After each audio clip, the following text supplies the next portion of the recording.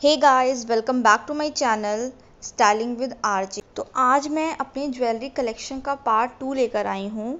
तो आप लोग देखिए और बताइए कि वीडियो कैसा है। तो पहले मैं आप सबको अपनी थोड़ी हैवी इयरिंग दिखा देती हूँ। तो ये मेरी पहली हैवी इयरिंग है जो किसी आप पार्टी फ़ंक्शन में या फिर साड़ी पे, लहंगे पे कैरी कर सकते हैं। सेकेंड ये ऑक्सीडाइज ज्वेलरी है और ये थोड़ा झुमका फॉर्म थोड़ा राउंड इयरिंग फॉर्म में है। तो ये आप नॉर्मली किसी भी साड़ी पे या सूट पे, कुर्ती पे ड्रेस पे कैरी कर सकते हैं। अब मेरी नेक्स्ट ईयरिंग हुप ईयरिंग है और ये स्क्वायर फॉर्म में है। बहुत सारे शेप में आती है स्क्वायर ट्राइंगल और राउंड शेप में और ये गोल्डन कलर की है। तो लगभग सारे ड्रेस पे चल जाता है।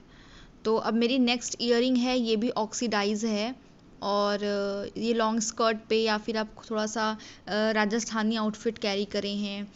तो उस पर बहुत अच्छी लगती है। और बहुत लोग इसको एज अ माथ बिंदी अभी यूज़ करते हैं, क्योंकि बहुत सारे ड्रेस पे मैच भी कर जाता है और बहुत तरीके भी होते हैं अपने स्टाइल को बनाने का और कैरी करने का। तो ये आप वीडियो में देख सकते हैं।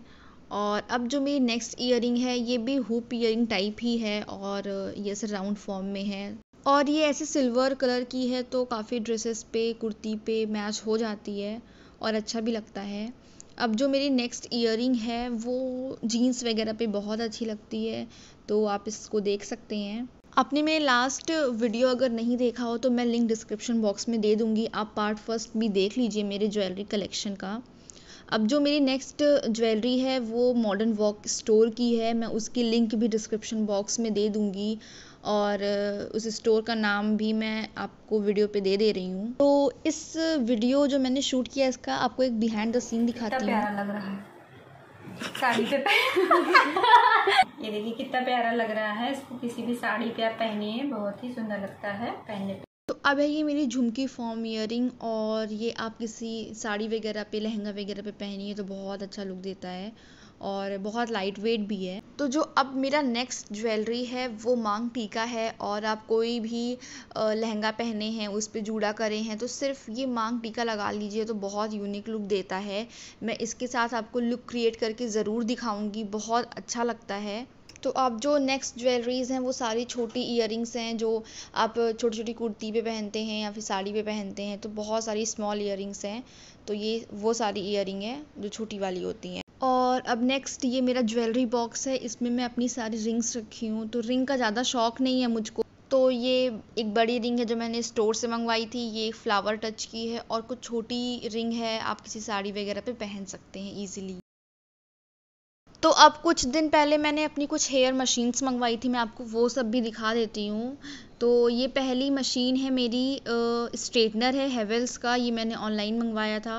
तो मेरे पास पहले भी हेयर स्ट्रेटनिंग वगैरह की मशीन थी बट मैंने एक और न्यू ट्राई करी, क्योंकि इससे थोड़ा वेवी हेयर भी होता है। तो आप देख सकते हैं, इसमें lazy waves ensuring voluminous hair and stroke straightening भी होती है।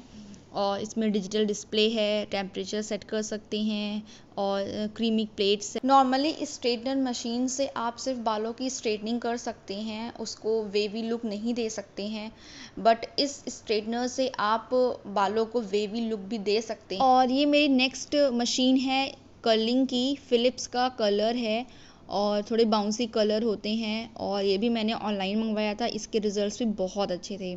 तो बहुत अच्छा हेयर कलर है, इससे बाउंसी कलर होते हैं और आप साड़ी पहन रहे हैं, कुर्ती पहन रहे हैं ड्रेस पहन रहे हैं, सबकी हेयर स्टाइल भी अलग अलग होती है।